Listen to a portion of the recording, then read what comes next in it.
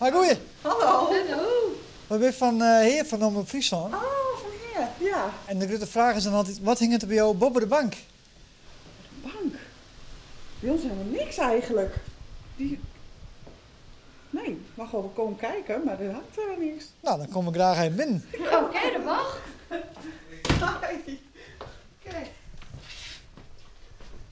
Ja, een raam inderdaad, hè? Ja, en gordijnen en wat planten en zo. En nog wat boeren hingen daar rondom, Jorde.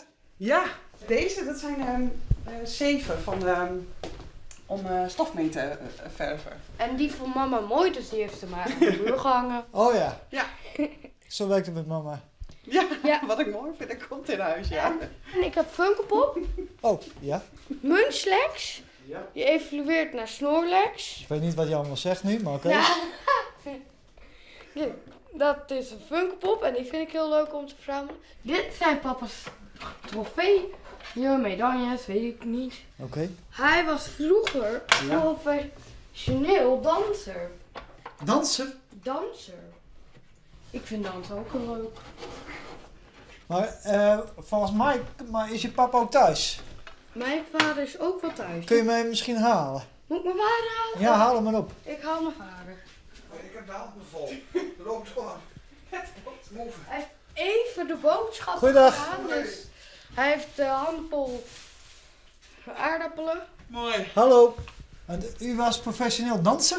Nou, niet professioneel hoor. Nee, maar hobbymatig. En dat is nogal wat jaren geleden hoor. Oké. Ja.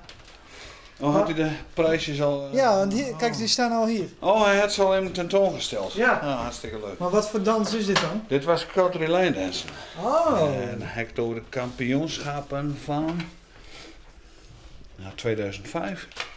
Oké. Ja, 20 jaar geleden. dat was 20 jaar geleden.